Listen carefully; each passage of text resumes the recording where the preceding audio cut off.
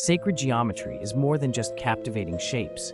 It embodies the intricate relationship between the cosmos and our existence.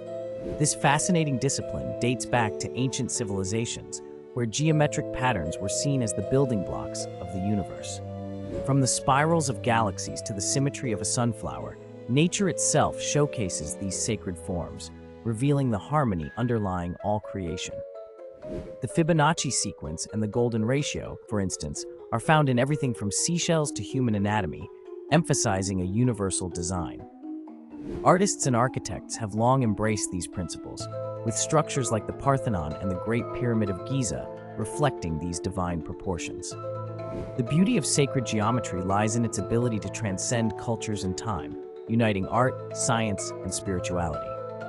It invites us to contemplate our place in the universe and encourages a deeper understanding of the world around us.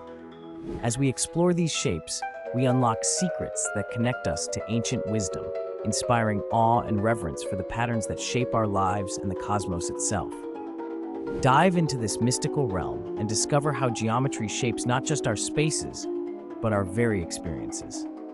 If you enjoy the content, please subscribe to support the channel and help us keep creating more. And don't forget to hit the like button, it really helps us reach more people. We'd love to hear from you. What part of this video resonated with you the most? Are there anything you think we missed or will like in future videos? Thanks.